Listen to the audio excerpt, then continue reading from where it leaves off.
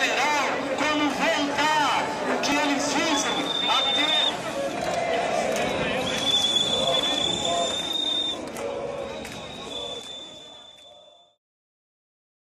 a, a, democracia no Brasil vai se consolidando, vai amadurecendo. Agora mesmo, nessa semana, na antivéspera dos 50 anos do golpe, é, dos dois lados tentaram reviver algo acontecido há meio século passado. Uh, reviver o comício da Central do Brasil a favor de João Goulart e reviver a famosa Marcha da Família com Deus pela Liberdade que apoiava o golpe. Foi um fracasso absoluto. Tanto a, de um lado quanto de outro não apareceu ninguém.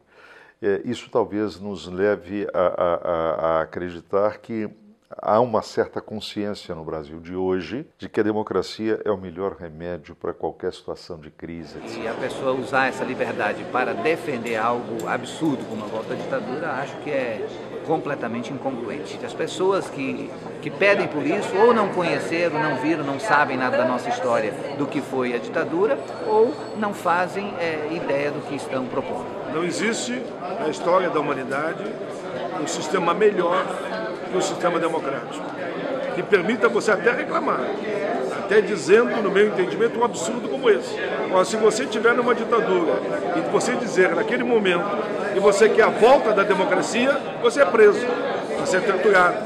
O teu direito de opinião e expressão não existe. E que bom, como temos um sistema democrático, eu posso, nesse momento, te dizer que vivo a liberdade, que vivo o protesto, que vivo o direito de ir e vir, que as pessoas têm o direito de opinião. E como é bom poder dar essa entrevista sem receio nenhum. Se tiver na ditadura, eu tinha que estar medindo as palavras. Quando você desligasse aqui a câmera, o gravador, eu poderia estar preso. É isso que você quer? Claro que não é.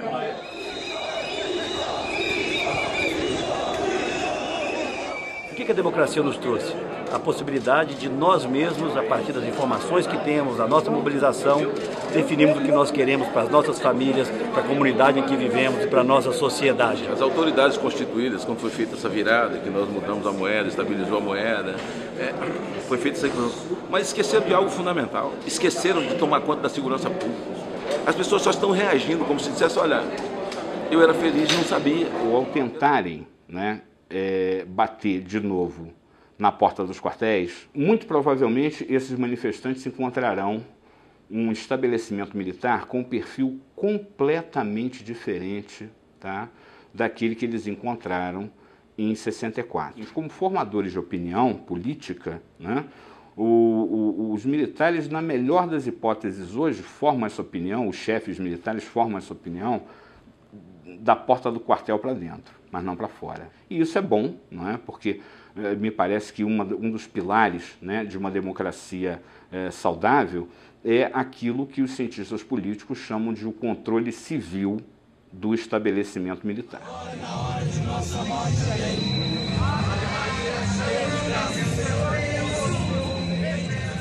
Essa tentativa de afirmar que antes a corrupção era menor não é verdade.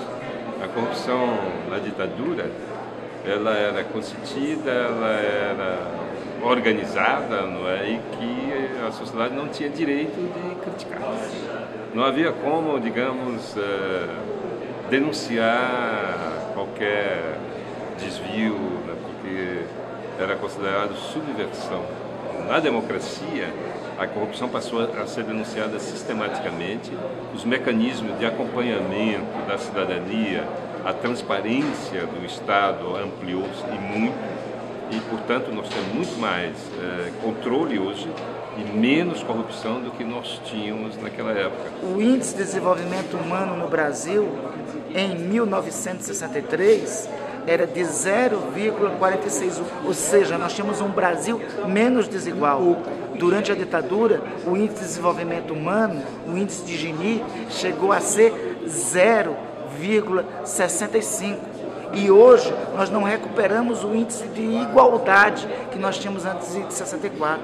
A ditadura aprofundou a desigualdade, acumulou riqueza na mão de poucos. Por isso nós não podemos concordar com qualquer movimento que tenha por objetivo voltar ao passado autoritário.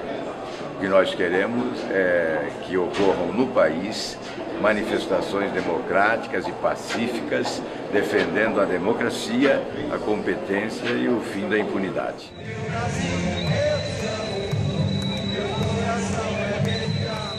Primeiro, eu acho que nós temos que tomar cuidado com a dimensão que se dá a esse tipo de iniciativa, a esse movimento. Não é? Muitas vezes dá uma dimensão muito maior do que os movimentos realmente têm. Então, esse está longe de ser um momento é, que tenha um número significativo de pessoas ou que, ou que possa é, assustar é, os democratas o rumo do país nesse caminho democrático de construção e desenvolvimento soberano com inclusão social. É hora de refletir, de refletir como se fortalece as instituições democráticas desse país, os poderes constituídos. Tivemos um exemplo ano passado, em 2012, daquelas manifestações gigantescas nas ruas é, e que também não tinham como é, é, um tema principal o combate aos partidos políticos, mas a mídia procurou ressaltar muito esse aspecto, porque o povo não tem que rechaçar a política, o povo tem que participar da política, que é o único caminho que é capaz de promover mudanças.